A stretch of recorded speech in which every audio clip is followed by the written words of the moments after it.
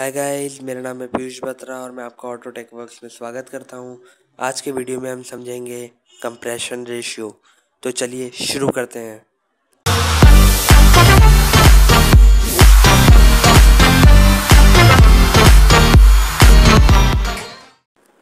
दोस्तों, बहुत से लोगों को डाउट होता है कि कंप्रेशन रेशियो क्या होता है।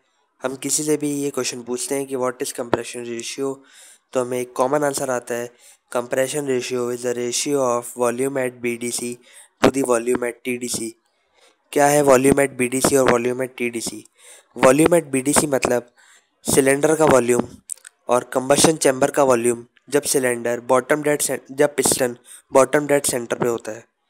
Volume at T D C मतलब सिलेंड कंबशन चैम्बर का वॉल्यूम जब पिस्टन टॉप डेड सेंटर पे होता है।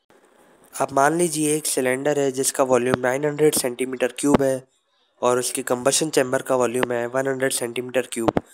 टोटल वॉल्यूम हो गया थाउज़ेंड सेंटीमीटर क्यूब।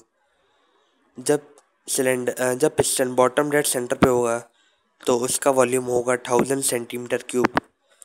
जब पिस्टन टॉप डेड सेंटर पे रेसिप्रो, रेसिप्रोकेट होके चले जाएगा, तब उसका वॉल्यूम होगा hundred centimetre cube.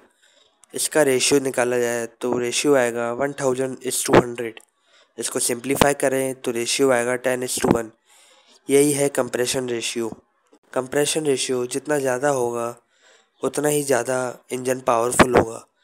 Compression ratio ज़्यादा होना मतलब फ्यूल और एयर का जो मिक्सचर इनलेट से इनलेट वाल्व से आया है, उसमें से maximum power mechanical energy mechanical power या आउटपुट निकालना एक्सट्रैक्ट करना. कम कंप्रेशन रेशियो होना मतलब कम पावर एक्सट्रैक्ट होना। अगर किसी इंजन का कंप्रेशन रेशियो ज़्यादा है, और अगर हम उसमें लो रेटिंग वाला octane number fuel low octane number वाला फ्यूल यूज़ कर रहे हैं तो उसमें प्रॉब्लम्स इंजन में प्रॉब्लम स्टार्ट हो जाएँगी। एक प्रॉब्लम है इंजन नॉकिंग जो गाड़ी के इंजन को कम्प्लीटली डिस्ट्रक्ट कर सकता है।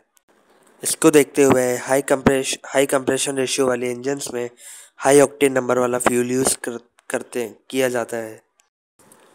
शुक्रिया दोस्तों वीडियो देखने के लिए। अगर आपको वीडियो पसंद आई हो तो लाइक कीजिए शेयर कीजिए।